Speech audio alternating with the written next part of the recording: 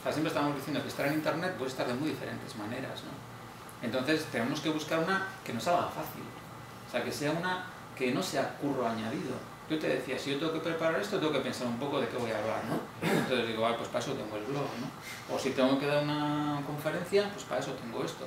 O si me voy a hacer un viaje con la bici, para eso tengo esto, para contar el viaje que estoy haciendo. Que a lo mejor me haría un diario, que antes me lo guardaba, lo escribía en el papel y Santas Pascuas, ¿no? Ahora tengo esto. Entonces a mí lo que me tiene que hacer es me tiene que gustar escribir, ¿no? Y luego lo que sí he descubierto con el tiempo es que a mí esto me da curro. Por ejemplo, ayer mismo, ayer tuve una reunión por la tarde en donde con, una empresita pequeña, eh, pues bueno, hablando de cosas de internet, historias de estas, ¿no? Eh, les estuve explicando eh, una, una herramienta, no sé si conocéis que he escrito hoy, Rapportive, ¿conocéis esto? Pues me, ha parecido, o sea, porque en esto, o sea, pues te vas enterando de cosas a medida que estás con gente, ¿no? Entonces, hace, hace unos días estaba en un, en un curso y, y, bueno, el que daba el curso y tal, un tal Iker, Iker Marchand, eh, comentó esta herramienta, Rapportive, ¿no? Y dije, Rapportive, ¿esto qué es? ¿Esto para, qué vale y tal, no? Y me dice, oh, mira, hoy en día, ¿qué es, lo, qué es lo, que, lo que nos pasa? Lo que nos pasa es que cuando alguien te, por ejemplo, te escribe un correo, ¿no? Bueno, si abro mi correo, ¿vale? Poco de... Correo. Entonces, por ejemplo, me escribe a mí un tal cristiano, un tío de Chile. esto, por ejemplo, uno, de Chile. ¿Qué, no, pues un tío que es que eh, se viene de Chile para acá, no sé qué y tal, entonces a ver si voy a estar en Madrid, no sé qué, porque es que me han leído, no sé qué y tal y cual. Pues vale. Sea, bueno, al final resulta que triangulando es no sé quién, que le conoce no sé quién, tipo y papá y tal, pero que dice que esta es la, la típica historia, o sea, de que alguien te ha conocido por internet, ¿no? Entonces, claro, yo digo, Cristian Reyes Meleán. Bueno, espero que no le piten los oídos, ¿no? Eh, ¿Quién es este tío? Y claro, a mí esta herramienta que está aquí, o sea, que tengo aquí, en esta, o sea, en esta barra lateral aquí tengo, o sea, el tío pues me tuitea, y lo último que ha tuiteado, aquí está en Facebook, en LinkedIn, en tiene, tiene cuenta en Vimeo, no sé qué y tal, ¿no? Claro, el que por ejemplo tengas una herramienta que te detecta de forma automática en dónde esa persona está presente y además, si yo ya estoy o no conectado con esa persona, o sea, que claro, cuando yo, bueno, ya que hemos cruzado correos, pues me enchufé con el LinkedIn, no sé qué, toda esta historia, ¿no? O pues esto dije, pues esto, esto está... Sí que es verdad que hay que darle permiso a una herramienta para que te bucee en tu, en tu Gmail, que eso siempre da un poco el Pero bueno, entonces yo digo, joder, pues esto que yo les estuve contando a esta gente ayer, digo, joder, pues nada, nada, lo voy a escribir, o sea, que, que me parecía que era una cosa interesante que la gente supiera. Entonces, ¿qué es lo que hago? Pues lo que hago, digo, a ver, algo que a mí yo me he enterado que me parece que es interesante para mí, pero que creo que puede ser interesante para el resto de la gente, además de un cliente con el que estaba ayer, pues lo que hago es sencillamente lo escribo aquí. Sea, eh, vale, me lo tengo que escribir, o sea, sí que es verdad que tengo que entrar en el blog, tengo que no sé qué y tal, pero me está sirviendo a mí para que en este momento yo pueda hablar de reportes con una herramienta y tal que está yendo, estoy yendo a mi blog, es decir, que es la herramienta, o sea, vosotros estáis viendo que yo en mi blog tengo esto, ¿no? Entonces es una razón para que alguien pueda venir a tu blog, o sea, porque tú estás diciendo algo que, que has documentado ahí, ¿no? Y es, digamos, el sitio al cual podemos recurrir porque hay recursos, ¿no? Entonces, esta es la cuestión, ¿cómo integras en tu actividad cotidiana esto de bloguear? Pero claro, es que si es curro añadido, joder, esto, hostia, ya tenemos un montón de cosas para hacer todas las mañanas, ¿no? Claro, si llegas y tienes una más y no eres capaz, digamos, de integrarlo en tu, en tu ritmo de trabajo cotidiano, pues es que esto, esto no va, ¿no? Claro, yo, por ejemplo, imaginaos a mí en la uni, ¿no? Entonces estás con chavales de primero, por ejemplo, de un grado de aprendizaje con el que trabajamos, te voy a contarles cosas de internet, no sé qué. Pues, pues yo de dónde voy a sacar muchos apuntes y muchas cosas, pues aquí. Y si les tengo que apuntes, le doy reporte y ah, pues mira, enlace. Mira, oye, si quieres un poco cuatro cosas sobre reporte, y aquí tienes el enlace. O sea, donde, donde tú puedes bueno, pues saber cuatro cosillas de qué es esto de reporte. ¿no? Entonces, una moraleja de esto es claro, yo creo que que eh, tienes que ir buscando de qué forma natural se integra en tu actividad cotidiana. Claro que es fácil decirlo, ¿no? luego, porque luego hay que levantarse y hay que escribirlo. Y hay que dedicarle el tiempo, pero pensando en que, en que a mí me está sirviendo, o sea, en que es algo o sea, que a mí me sirve, en este caso, para mi actividad profesional, ¿no? y que de alguna manera, bueno, le saco partido, es decir, es como una especie de inversión que algún día le dices, le dices segundo partido, o sea, evidentemente en el momento cuesta. Y la decisión es levántate y ponte a escribirlo. ¿Alguien tiene así hábitos concretos de escribir a una hora del día, eh, algún día de la semana? Eh, ¿Tú, por ejemplo? Yo los tengo muy muchos. Yo cuando me levanto, por ejemplo, sí me levanto con ganas de comunicar. Pero bueno, muchos días lo escribo. Por falta de tiempo, lo de siempre.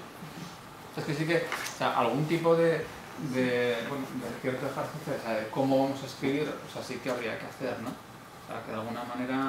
Luego también es verdad que, por ejemplo, eh, cada cual, bueno, cada maestro lleva su librillo, ¿no? Pero a lo largo del día pasan muchas cosas que podrían ser susceptibles de ser bloqueadas, ¿no? Entonces, bueno, esas hay que, hay que capturarlas, ¿no? para que de alguna manera vaya en un saco de cosas que están ahí ya, digamos, bueno, o sea, que ha habido una idea, pues esa idea, ¿a dónde la voy a llevar? Pues al blog. Si es que mi manera natural de comunicar es ese, es el blog, ¿eh? Que otro puede ser en Facebook, en el LinkedIn, en Twitter, en cada uno quiera. Pero que en mi caso, por ejemplo, esas ideas que van saliendo, y, y creedme, o sea, que no me da, o sea, no me da para escribir todo lo que quisiera escribir. Y mira, escribo. O sea, yo si ahora mismo me voy a las tripas de mi, bueno, en las tripas de mi WordPress, o sea, ya puedo tener, sin exagerar, 400 cosas en borrador que no sé si algún día las escribiré, pero que están ahí. Entonces, un día cuando, pues imagínate que levantas una mañana, no tienes folio en blanco y no tienes ni pintera idea, ¿no? Pues, ¿qué es lo que hago? Me voy a los borradores, o sea, lo que tengo, los, digamos, los borradores que están ahí, pues, pues me los repaso y digo, ah, mira, esto es verdad, aquí un día que vi, no sé qué y tal. Pues ya está, pues tiro de ahí, ¿no? Pero eso, eso cada cual tendrá que buscarse un poco su, bueno, pues su historieta para tener ideas al respecto. ¿no? Luego, claro, ¿de dónde vienen las ideas? De leer a otra gente ahí vienen, o sea, eso, esto, ¿por qué sale esto? Porque estás en un curso y lo oyes a no sé quién que te cuenta eso, luego lo miras y dices, joder, ¿cómo he vivido sin esto? ¿No? ¿De dónde ha venido? Pues de estar en un curso, de oírle a no sé quién, ¿no? A mí parte de las ideas vienen de estar con gente, de hablar con gente, ¿no? Bueno, vale, de leer y demás, ¿no? Pero en las conversaciones también salen muchas cosas. Pues esto es Raporti, pero un... Oye, además quedas, estás ahí en el curso y encima a ti te tienen por, por un, como que sabes la hostia estas cosas y tal. Uy, yo aquí aprender. Entonces, bueno, eso, estábamos con la... Bueno, luego aquí otra idea que sacaba, pero bueno, quizá esto es para, para mi caso, ¿eh? no tanto para, para, otros, es eso, es por ejemplo, si, si hay que adelgazar esto de, o sea, si el, si cuando vas viendo que tienes temas diferentes, pues si quizá conviene empezando a partir en, pedacitos. ¿no? A lo mejor digamos que, que, hacer que eso que tú sabes que se podría hacer y es que la gente se suscriba solo a parte de tu contenido, pues a lo mejor resulta que puede tener más sentido porque es más sencillo si solo partes en diferentes blogs y tienes uno, para cada cosa, por así decir. Pero quizá es un caso de un enfermo de, de, escribir mogollón que no, que no es mejor. ¿eh? ¿Alguien tiene aquí el típico blog ya que se le está saliendo de madre por contenido?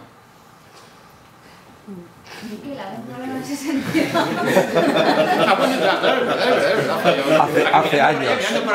Hace años. Se salió de contenido. No es un problema ya. Pero, o sea, que tú, también, como... Hasta que se me pierda un día todo y empezaré a decir tú, o sea, o sea, eh, renacer. Tú, sigues con blogger, ¿no? O sea, con tu, sí, sigo en blogger porque no tengo tiempo de, de hacer una copia ni nada. 7.000 entradas o casi. Sí. Ya llegaba a ser considerado virus con las máquinas. Ya, ya, ya. Si eso ya arreglaste, de Google ya arreglaste. Lo he arreglado, cada vez que se ha habido un problema se, que me han confundido con un robot, se ha arreglado, pero... Algún día nos arreglaré y dirán, esto es que era un robot. Ese que te confundirá con un robot, eso... Twitter, o sea, pero muchos, muchos me han confundido. Bueno, bueno. Tiene toda la pinta. Bueno, pues esta digamos que una, una decisión que hay por ahí en su momento. Luego, de esto he escrito bastante, ese punto 4 que aparece ahí, ¿no? De, de blogger profesional, profesional con blog, eh, un blog es una persona, no sé qué, de eso tengo varios artículos escritos, ¿no? Eh, porque sí que es verdad que cuando llevas tiempo escribiendo, yo creo que transparentas. O sea, es, muy difícil el no sepa cómo eres cuando llevas un montón de tiempo escribiendo. Y eso es, es, una historia que... O sea, que, tienes que estar tranquila con, eso, ¿no? Porque, porque va a ser así, ¿no? digamos, por acumulación, al final la gente va a saber cómo eres, ¿no? Y, hombre, también es verdad que luego hay cosas que no, que no cuentas, ¿no? O sea, como es lógico la privacidad es la privacidad y cada uno mantenemos la que, intentamos mantener la que queremos, ¿no? Em, pero, pero sí que es cierto que, que yo creo que, por ejemplo, en el plano corporativo, cuando ves que se abren blogs de estos que son más neutros que la leche, pues es súper aburrido, ¿no? Es decir, que al final yo creo que a un blog le estamos pidiendo el que sepas que es una persona, y eso quiere decir o sea, que hay ciertos matices, ciertas formas de hacer y de decir o lo que fuera, que dices, ah, no, este es el blog de no sé quién, ¿no? O sea, y es de, de una persona o de un pequeño colectivo, si acaso, ¿no? Sea, pero hay algo que lo diferencia del resto de la gente. Y claro, por diferencias individuales, eh, pues tantos blogs como personas puede haber, o tantas personas como blogs, en el sentido de que, de que tampoco podríamos decir que hay un estilo de blog, porque si hay un montón de personas diferentes, pues también debería haber un montón de alternativas diferentes de tener blogs. Otra cosa es que luego sea más sencillo cuando lo empiezas, digamos, a categorizar, ¿no? Y ahí empiezas eso, cuando yo estaba con esto de publicidad de la UPV, ¿no? Pues eso, ¿para qué es el blog? Hombre, si ahí tienes unas respuestas bastante claras de para qué es el blog, pues de ahí derivará eh, tanto contenidos como un cierto estilo, un registro, una manera de contestar los comentarios, de, tener una política incluso con respecto a sus comentarios, cosas de esas. ¿no? Claro que además muchas veces en las empresas es una cosa que pasa, eso que la gente joder, le tiene miedo a que le metan caña en los comentarios cuando digo, hostia, pues es la gracia. Es que si si, si, eso, si con eso no te lo pasas bien, es que mejor no lo hagas.